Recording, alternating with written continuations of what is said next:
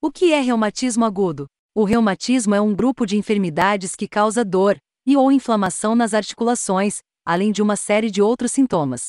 As doenças reumáticas atacam também os ligamentos, os tendões e os músculos. O termo é utilizado para designar mais de 200 patologias, entre elas a artrite, a artrose e a fibromialgia. O reumatismo fora das articulações ou reumatismo de partes moles é uma inflamação que se manifesta em componentes do sistema músculo-esquelético, principalmente nas estruturas que estão em volta das articulações como músculos, ligamentos, bursas, inteses e tendões.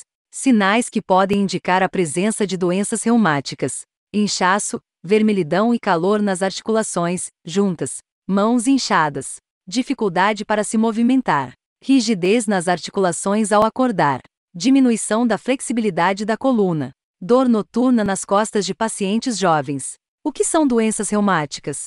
Popularmente conhecidas como reumatismo, são prevalentes e representam um conjunto de diferentes doenças que acometem o aparelho locomotor, ou seja, ossos, articulações, cartilagens, músculos, tendões e ligamentos. A osteoartrite, no entanto, corresponde a um desgaste nas articulações que não pode ser curado pelo tratamento. O reumatismo não articular, abarticular, não afeta as articulações.